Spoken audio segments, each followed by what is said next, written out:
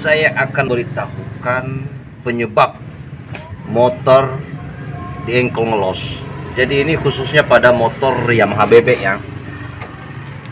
Itu banyak pertanyaan yang uh, ada melalui komentar di YouTube saya dan uh, sebetulnya saya beritahukan Anda jangan salah menebak kalau seandainya Anda bukan mengenai masalah engkol ngelos di motor Yamaha bebek itu banyak tuh Vega ZR, Vega R New, Vega R, Jupiter dan sejenisnya. Jupiter Jet1 juga seperti itu. Supaya Anda tidak keliru menebak dan memperbaikinya terlebih mengganti alatnya, saya akan beritahukan secara langsung apa-apa saja yang menyebabkan motor ini bisa ngelos. Pertama sekali yaitu bagian operan gigi. Ya, ini kadang kalau seandainya ketinggian setelan koplingnya itu akan menyebabkan motor tersebut akan ngelos. Jadi harus ada selang antara depan dengan belakang ya. Jangan sampai dia tidak ada selang tidak ada kosongnya ya. Itu yang pertama kedua adalah kampas kopling. Kampas kopling kalau seandainya dia sudah menipis atau tebalnya sudah hilang atau kampasnya ini sudah haus itu dapat menyebabkan engkol ngelos.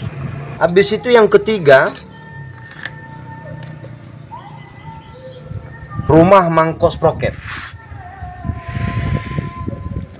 Anda jangan beranggapan kalau seandainya mengenai masalah paritan di mangkok ini menyebabkan dia ngelos. Itu sudah salah, ya. Yang menyebabkan motor ini ngelos salah satunya dan ini yang paling fatal. Ya. Ini yang paling fatal. Di dalam kedudukan pelor cage ya. Itu sudah cacat.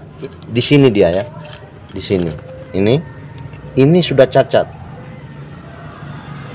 Ini namanya kedudukan pelor cage ini berada. Ini kalau sudah cacat dapat menyebabkan dan sangat menyebabkan motor tersebut di engkol ngelos. Ya. Jadi anda harus perhatikan kedudukan pelor cage ini di saat anda menemukan engkol tersebut ngelos. Habis itu yang terakhir adalah cage sprocket ya. Kalau pernya ini per kecil ini tidak ada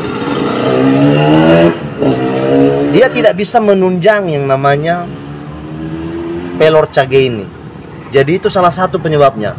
Habis itu kalau seandainya plastik cage ini pecah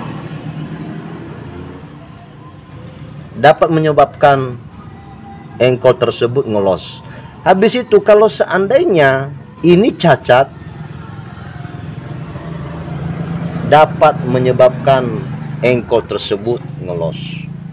Jadi Anda jangan salah menebak, Anda jangan salah mengira-ngira kalau seandainya motor tersebut ngelos.